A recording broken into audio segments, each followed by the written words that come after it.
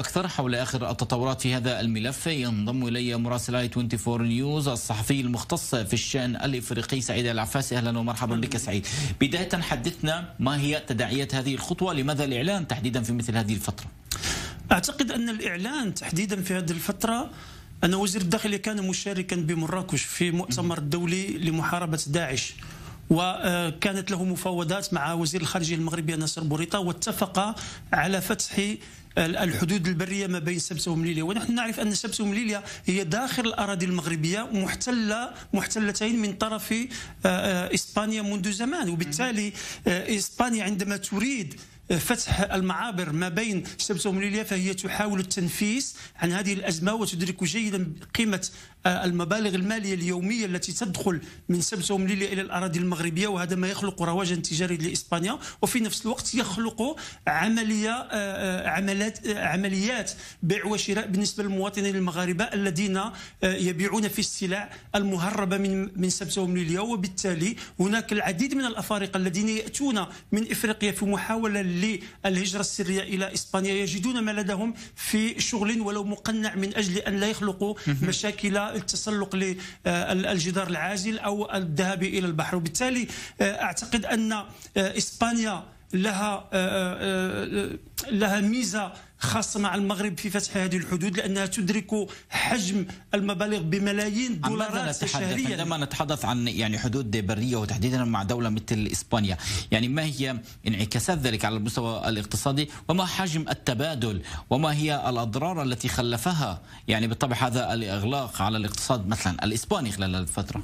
كلا البلدين تضرر من هذه العملية الإغلاق لا من عملية إغلاق وباء كورونا أو من عملية آه، أزمة الدبلوماسية التي نشبت ما بين المغرب وإسبانيا لاستقبالها آه، رئيس البوليزاريو آه، إبراهيم غالي. والمغرب لم يتساهل في هذا الجانب وقرر آه، تجميد العلاقات الإسبانية المغربية. وبالتالي كانت إسبانيا تدفع في هذا الاتجاه من أجل أن تفتح سبل التواصل ما بين المغرب وإسبانيا. وتأتى لها ذلك بحضور رئيس الوزراء الإسباني إلى الرباط. وجلس مع محمد السادس من أجل تدارس هذا الوضع. وتدرك إسبانيا بأن الأزمة الاقتصادية بسبب ليبيا سبتهم ليبيا بدون مغ... بدون فتح المعابر المغربية لا تسوي شيء لأن الذي ينعش الاقتصاد آه، المدينتين هم المغاربة من خلال السلع التي تدخل من مدريد ومن آه، الدول الجنوبية الإسبانية إلى آه، المدينتين وثم يعيد يعاد توزيعها داخل الأراضي المغربية تصل حتى الصحراء والدار البيضاء ومراكش وفاس إلى غير إلى غير ذلك وتقدر بمبالغ طائلة نعم. سواء من الأموال أو من اليد العامله التي تدخل إلى إسبانيا وتقتني هذه الأدوات. السؤال المطروح ليس فقط على المستوى الاقتصادي سعيد. هل هذه الخطوة هي أيضا إشارة إلى تطور العلاقات وأيضا إلى التوافق على المستوى السياسي فيما يتعلق بقضايا أخرى لربما كانت عالقة مثلا قضية الصحراء. طبعا هي قضية الصحراء ثم في الأسابيع القليلة القادمة سوف يجلس المغرب مع إسبانيا من أجل من أجل ترسيم الحدود البحرية ما بين المغرب وإسبانيا وسيما في الجزر الكناري في المحيط الأطلسي والتي بدأ المغرب آه، بالتنقيب عن الغاز والبترول بهذه الأراضي وهناك نشبت آه، حرب ما بين الحكومة الكنارية وما بين المغرب بداعي أن المغرب دخل في السيادة الكنارية من أجل آه، التنقيب عن النفط والغاز.